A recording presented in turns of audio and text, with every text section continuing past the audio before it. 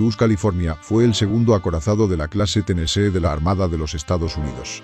Encargado en 1921 sufrió graves daños y se hundió durante el ataque japonés a Pearl Harbor el 7 de diciembre de 1941. Posteriormente el California fue restaurado y participó en operaciones de combate en el Pacífico hasta el final de la guerra. Los barcos de la clase Tennessee diferían significativamente de sus predecesores, la clase Nuevo México, pero llevaban a bordo la misma cantidad de cañones de 14 pulgadas. Con ello se puso mayor énfasis en la protección subacuática, Además se reforzó la protección del blindaje en la zona horizontal y se incrementó el alcance de los cañones, aumentando el ángulo de inclinación del cañón. Las lecciones aprendidas de la batalla de Skagerrak fueron extraídas, que mostró que las distancias de combate continuarían aumentando y al mismo tiempo era necesario fortalecer el blindaje horizontal a medida que los proyectiles golpeaban la nave más verticalmente a distancias más largas. Al mismo tiempo, se pasó a la proa Clipper para que pudieran operar mejor en mar gruesa. Eran casi idénticos a la siguiente clase Colorado, pero tenían 12 cañones de 14 pulgadas. Los barcos sucesores, sin embargo, aumentaron el calibre a 8 cañones de 16 pulgadas. Los barcos de la clase Tennessee tenían un blindaje muy pesado y presentaban los últimos avances en el diseño de buques de guerra, lo que les brindaba una mejor protección contra los impactos de torpedos y minas que los acorazados más antiguos comparables. Su principal desventaja era su baja velocidad de poco menos de 22 nudos, con lo que no podían seguir el ritmo de la competencia extranjera, ya que los acorazados más nuevos y los cruceros de batalla supervivientes podían navegar a velocidades de alrededor de 30 nudos. La construcción del California se decidió ya en 1915, pero debido a la Primera Guerra Mundial, la construcción se continuó con vacilaciones, ya que se necesitaban más barcos durante la guerra para defenderse de los submarinos alemanes y debido al largo periodo de construcción, la finalización antes del final de la guerra fue rechazado como irreal. Además se extrajeron lecciones de diseño del curso de la guerra y las batallas navales que se libraron con ella. El buque fue construido en Mare Island Navy Yard y la quilla se colocó el 25 de octubre de 1916. Su botadura siguió el 20 de noviembre de 1919 y el 10 de agosto de 1921 el California pudo ponerse en servicio. Por lo tanto, tuvo un periodo de construcción considerablemente más largo que su hermano, el Ustenese. Inmediatamente fue asignada a la Flota del Pacífico y fue el buque insignia de la Flota del Pacífico de los Estados Unidos hasta el comienzo de la guerra. Durante el ataque japonés a Pearl Harbor el 7 de diciembre de 1941, el California estaba en el puerto y fue gravemente golpeado y hundido. Después de que dos torpedos explotaran debajo de la armadura del cinturón, una bomba golpeó las cámaras de munición de la munición antiaérea, matando a más de 50 miembros de la tripulación.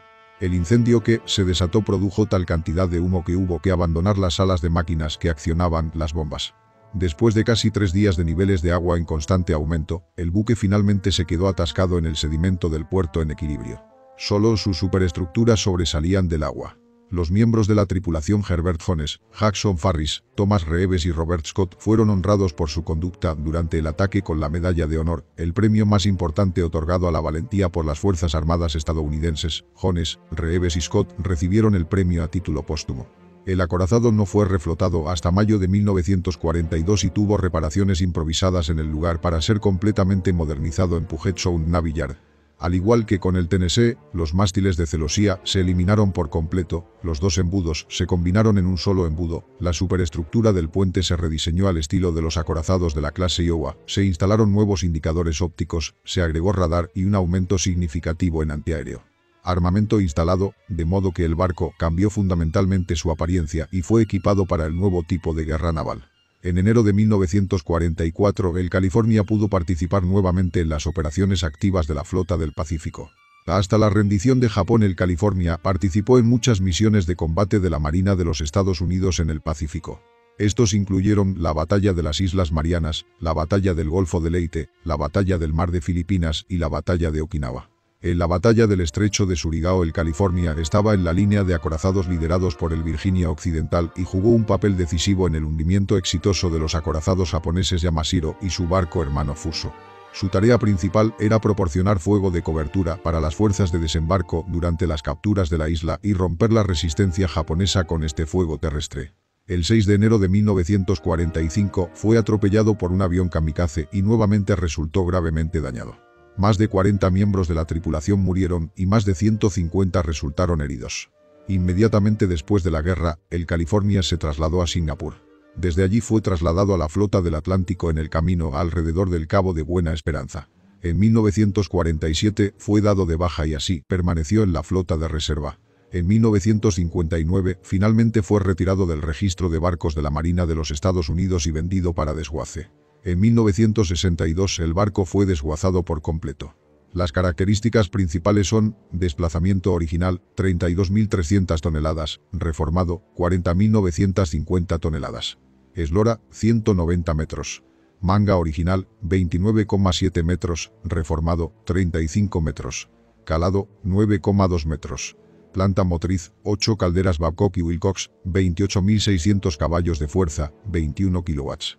Sensores radar, Cexan, desde 1940 blindaje del cinturón entre 203 a 343 milímetros, de la barbeta de 330 milímetros, en el frontal de las torretas de 457 milímetros, en el lateral de las torretas entre 229 a 254 milímetros, el puente de mando de 292 milímetros, la cubierta de 89 milímetros.